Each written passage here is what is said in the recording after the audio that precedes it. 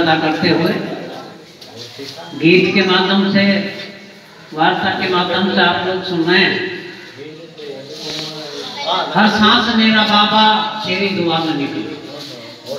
निकले जो वक्त मेरा, तेरी रजा में निकले। तेरी रजा में रहना बंदों की बंदगी है, और तेरी रजा न मानो तो जीवन मानो। जो होते हैं कौन भक्त, वो नामीर नहीं होते। जो कौम का बुरा करें वो काबिल दीद नहीं है। वो हुब्बे वतन के जज्बे हैं, जो कभी खरीद नहीं होते, वो कौम है मुर्दों की जिसमें के शहीद नहीं होते। जैसे कि आपके यहाँ नव यौवन अपनी कुर्बानी समाज के। लिए उपस्थित सज्जनों, आपने बाबा साहब के संत रविदास जी के बारे में बहुत सुना है। समय का अभाव है। दूर हमको जाना है, हमारे साथी भी जाते हैं। वो हमारे साथ में हैं। आपका भी हमने कीमती समय लिया है। लेकिन वो हमारे प्रधान जी यहाँ से चले गए। कोई ज़रूरी काम था। मैं उनको थोड़ा सा ये बताना चाहता था।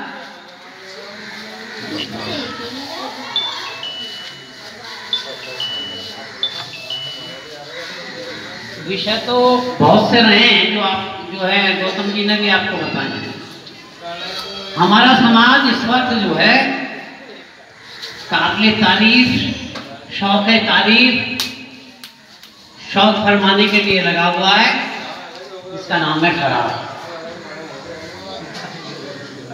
शराब की तरफ़ चल रहा है लगाने वाले कौन है?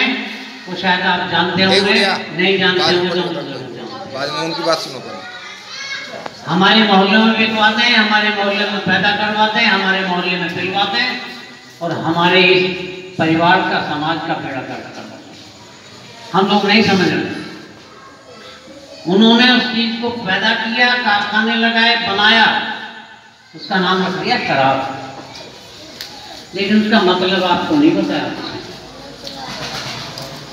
उसका मतलब मेरे पास है और मैं आशा करूँगा, आप उस मतलब को समझने के बाद अपने समाज पर प्रतिबंध लगाएँगे ताकि उस तरफ़ हमारा समाज बर्बाद न हो। शराब में तीन अक्षर है, पढ़े लिखे बच्चे जानते हैं। शराब शब्द है, उसमें तीन अक्षर है। कोई बताएगा तीन अक्षर कौन से हैं? शराब शब्द में, बताओगे बेटे। कोई भी बताए। श रे इनका अर्थ बताऊँगा मैं से से सर्वनाथ ये शराब इस्तेमाल करने वाले के लिए है। से से सर्वनाथ रे राड राड माने लड़ाई। और वैसे बर्बादी। एक सज्जन ने मेरे से कहा कि सर्वनाथ और बर्बादी का मतलब एक हम गलत है। सर्वनाथ तो अपना कर रहा है, अपनी मेहनत की कमाई को बर्बाद कर रहा है, और बर्बादी आने वाली पर जो प्रणाली है ये है शराब। तो मैं प्रधान जी से निवेदन करना चाहता था, एक शब्द हमने पढ़ा है। नरेश हरिजन के मकान। मैं प्रधान जी से रिक्वेस्ट करूँगा कि हरिजन शब्द इस देश से हट चुका है। लेकिन आप प्रधान हैं, आपको तो अच्छी तरह से जान लेना चाहिए।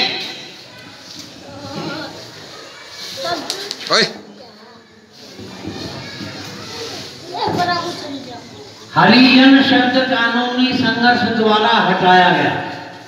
हरिजन शब्द जो है, असंसदीय होने के कारण ही सचिव उत्तर प्रदेश शासन लखनऊ में अपने आदेशा संख्या बाईस बटा पाँच, डैश उन्नीस सौ बयासी कार्मिक टू दिनांक बारह मई उन्नीस सौ बयासी द्वारा हरिजन और गिरिजन जैसे शब्दों को राजकीय भाषा में इस्तेमाल पर रोक लगाई जा चुकी है। बैठक में प्रमोद हरि, सुभाष जैनवाल और राम जैनवाल, कृष्णा राय ये मौजूद थे। ये जो है रिकॉर्ड में है, कानून में है, लेकिन ऐसे शब्द आप लोग इस्तेमाल न करें, हरिजन माने हरी हराम की औलाद ये मैं नहीं कह रहा हूँ, बाबा साहब ने इसका अर्थ बताया इसलिए ये शब्द इस्तेमाल न करें और चमार शब्द भी इस्तेमाल न करें।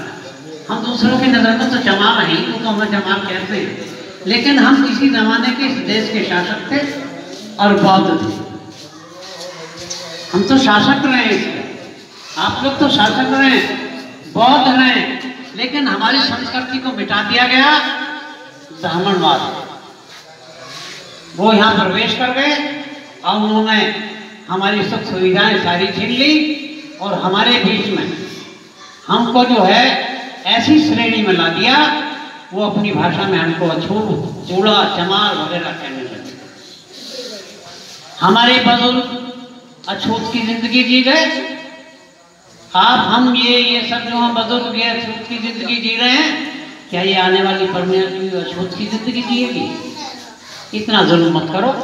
अब तो बाबा साहब को जो शिरोमणि रविदास संत जी उन्होंने उन्होंने भी संघर्ष किया ब्राह्मणवाद से कि जो है, ये शब्द हटा दिए जाए, बौद्ध दीक्षा लीजिए। बौद्ध दीक्षा का मतलब ये है, अपने धर्म में वापस आ जाओ, अपने धर्म में वापस आ जाओ और बौद्ध बौद्ध बनकर गर्व से लिखिए कि हम बौद्ध हमारे बीच में आज की तारीख में बहुत बड़े महान आदमी, डॉक्टर अतुल कृष्ण जी, जो सुभारती के संस्थापक हैं कॉलेज और जो है स्कूल, पाठशालाएँ उनकी चल रही हैं, वो बहुत बन गए उन्हीं की देन है जो आप लोगों के बीच में हम लोग खड़े हुए हैं। सागर साहब हैं, वहाँ के मैनेजर हैं। उनकी देन है जो आप लोगों के बीच में हम लोग खड़े हुए हैं और आप लोगों को जागरूक करने के लिए आए हैं। कृपया ये ध्यान मद्देनजर लेकर चलें कि अभी अक्टूबर में बहुत शिक्षा होने जा रही है। मैं निवेदन करूँगा नगरवासियों से आसपास के गाँव वासियों से सबसे संपर्क कीजिए और विश्वविद्यालय शुभार्थी मेरठ में पधारिए उस दिन अपना कीमती समय दीजिए, इतनी कुर्बानी तो ज़रूर दीजिए और वहाँ के फॉर्म रिकॉर्ड में के माध्यम से आप बहुत शिक्षा लेके आप उसी जगह पहुँचे जहाँ पहले थे आप, उसी तरह से शासक भी बने। गर्व से कहेंगे कि हम बहुत चलो बुद्ध भी हो ये हमारा उद्देश्य है। ये हमारे डॉक्टर साहब का उद्देश्य है, चलो मुक्त की ओर। यहाँ से भटके थे, अब वापस वहीं पहुँच जाओ। तो मैं बहुत समय न लेके हो सकता है ज़्यादा लिया गया हो, इसके लिए क्षमा चाहूँगा, और जय भी नमस्कार